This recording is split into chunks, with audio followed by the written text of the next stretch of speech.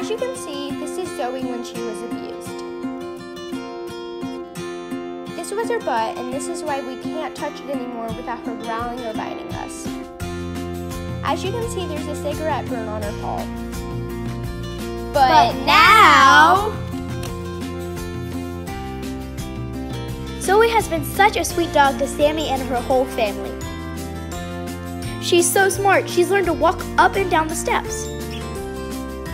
She also loves taking walks. She loves Dakota with Dermot. Let's say she has a teensy weensy crush on him. She's also picked out one of her favorite toys, though usually she doesn't really like them. This is Zoe whenever Miss Jaime was able to scrub her butt. It was very amazing because all this abuse she's had, and now she's here with this loving family.